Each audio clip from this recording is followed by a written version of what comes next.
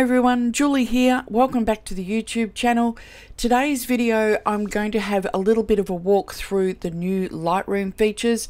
By now, you've probably already installed it and maybe had a little bit of a play. But if you haven't had time to have a play with it, or indeed, if you haven't seen one of the myriad of videos that's probably already floating around, I thought I would have my two cents worth as well.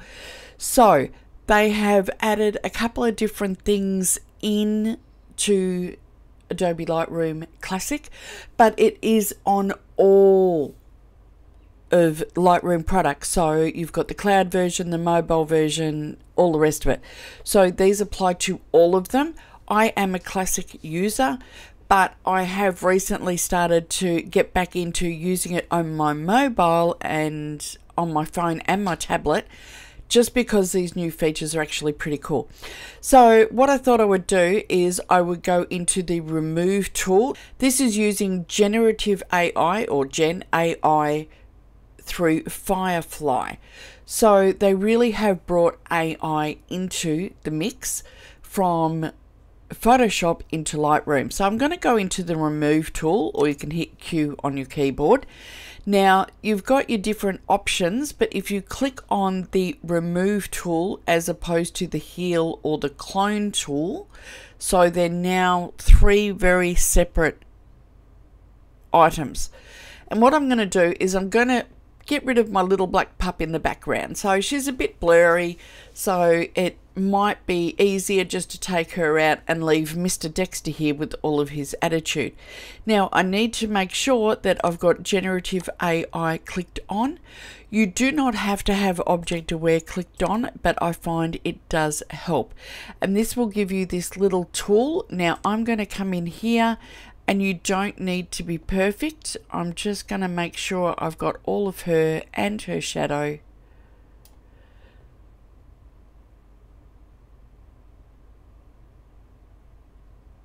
Just give it a second. Now it's applied the mask so I can see the mask area there in red. Now if you want to you can change that to green or blue or whatever. So I'm going to pop that back to red and I'm going to just hit apply. Give it a second. And she's gone. Now, if you want to, you will get given three variations. So you can click through and see if any of the other variants are any better. I actually think that one did a better job with his ear and the plant, so I'm going to leave it there. But if you're not happy with all of those, you can hit refresh and do it again. So let's just have a little look at the before and after. So that's where I've got my pup in there and that's with her gone. So it did a pretty good job on that. And that's pretty cool. So I'm just going to hit close on that and I think I'm pretty happy with that. But if I go and have a look at another image, now this is just a product image, but my little backdrop didn't quite cover the area that I need. So what I'm going to do is I'm going to go into the develop module. I'm going to go back into the remove tool and I'm going to select my remove part and I'm going to come in here and I'm going to select all of this Give it a second to select it.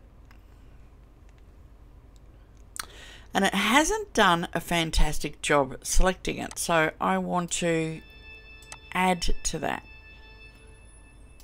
And it's done a better selection. So what I'm going to do now is hit apply.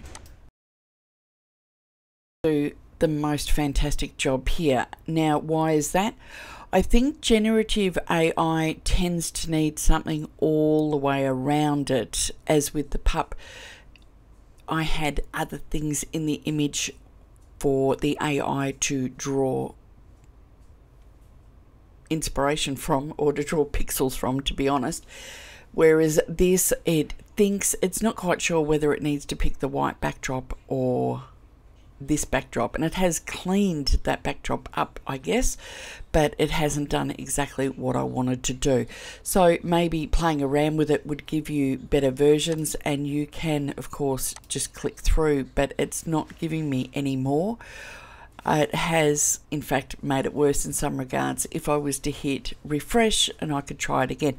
But I think because it's on the edge of an image, and this is where AI generally tends to fall down sometimes, is if there is not enough to work with.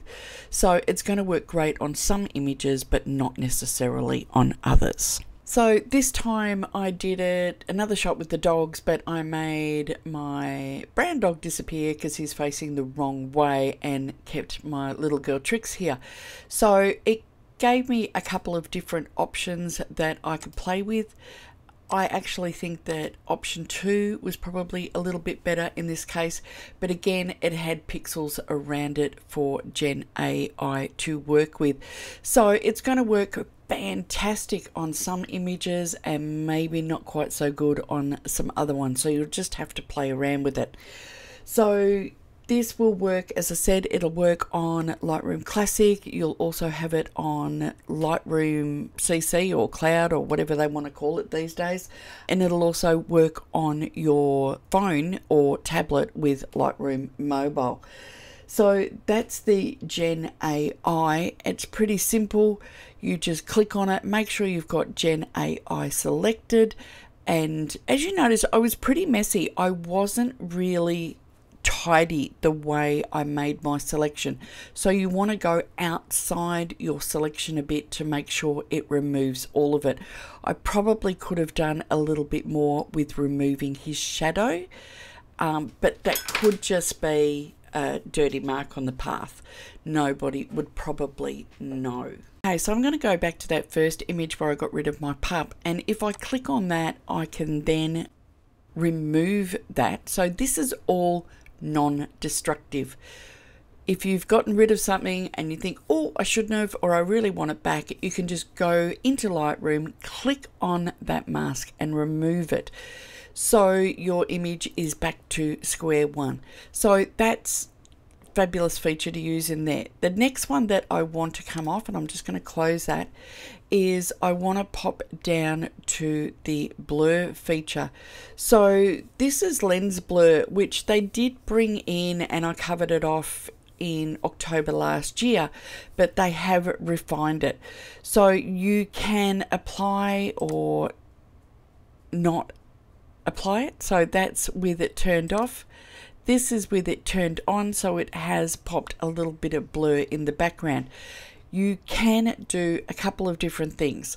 You can visualize your depth so you can actually see what's in focus and what's not. So my dog at the front here is in focus and everything else is out of focus. I can move that around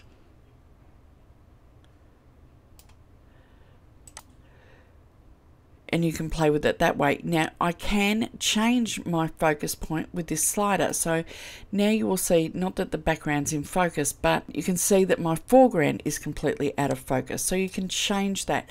You can select a focus range automatically using subject detection or you can point to a focus area. So if you wanted to have say the focus area here, I can select that as well. Now you have different blur amounts, so I can make that really blurry or I can drop that back so it's not quite so soft. Then you have different bokeh. So there is round bokeh, there is a bubble bokeh. Now this would probably make more sense if I had something with lights. So I'll probably go see if I can find something else. But you can have different types of bokeh that you can select and you can boost that bokeh as well. If you come into brush define refinements, you can actually brush on certain areas. So if you wanted something else to be in focus, so for instance, if I wanted that area to be more in focus where I have got him I can do that. Now let me just see if I can find another image. So I found a better image to play with. This is just in Melbourne at Christmas a few years ago and I'm going to apply the lens blur to this image and already you can see where the lights here have gone into quite a bit of that sort of blur bokeh that you get with lighting. So let's just boost it right up so you can see the different types. So you have got the modern circle lens, which is just that nice, soft, round blur. Then there's what they call bubble blur, which has sort of got a bit of an edge around the outside of it. Then you have the five blade vintage blur, which gives sort of that, it's not a hexagon, but it's a that type of shape to it. Then you have also got the ring, which you get with various different lenses. And if you're using a ring light, you will probably get that as well. And can't say I'm a big fan of that one. And then there's Cat's Eye, which is more of a sort of a oval type shape. So you've got different blurs that you can use. Now you can drop the amount of blur that you want in it so you don't have to have as much blur. And you can also drop the amount or the boost, I guess, of the amount of bokeh.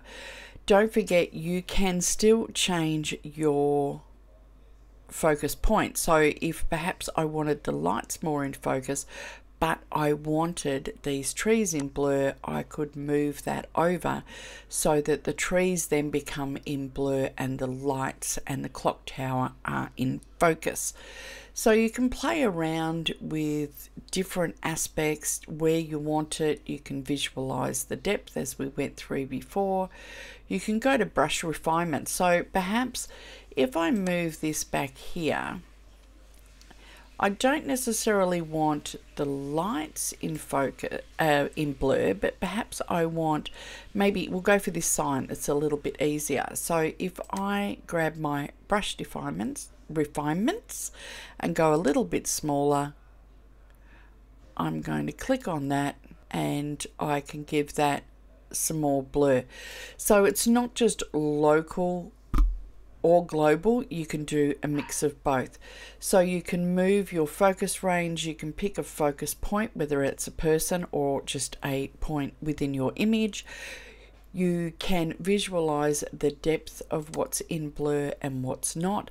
So the purple is in more in focus, whereas the yellow is what is in blur here. So that's pretty much it, I think, for the lens blur. So it can be a lot of fun. It has improved greatly on the original one that was brought out last year. You can do all sorts of things with it which can make your images really interesting. So if you've got something in the background that you really don't want there, you can go in and remove it with the Gen AI remove tool or you can come in and you can blur things off using the lens blur. So that's it for those two new features. There are more things that are in store in Lightroom, such as tethering for Sony and things like that, and I will go through them in a different video. So thanks for watching, and I will see you next time. Don't forget to like and subscribe. Bye for now.